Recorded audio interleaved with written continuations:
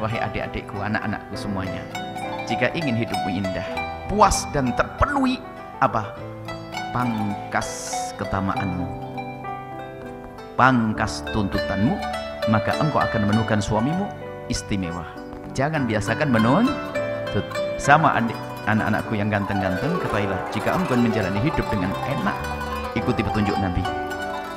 Pangkas tuntutan, pangkas ketamaanmu.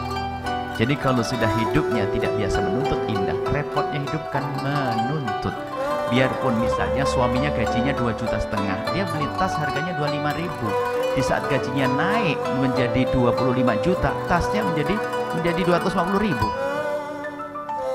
Dan terus menuntut, tidak indah. Bang, rumah begini, belum apa-apa sudah terus. Tuntutan akan menjadikan keindahan itu hilang.